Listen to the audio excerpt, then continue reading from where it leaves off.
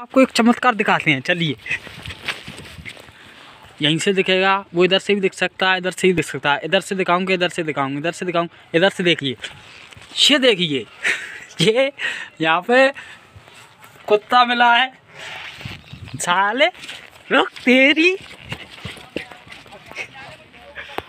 दोस्तों, मैं उसको परेशान नहीं करना चाहता था। लेकिन ये इधर भोलेनाथ जी को चाट रहा था। सोचिए कितनी गलत बात है ये।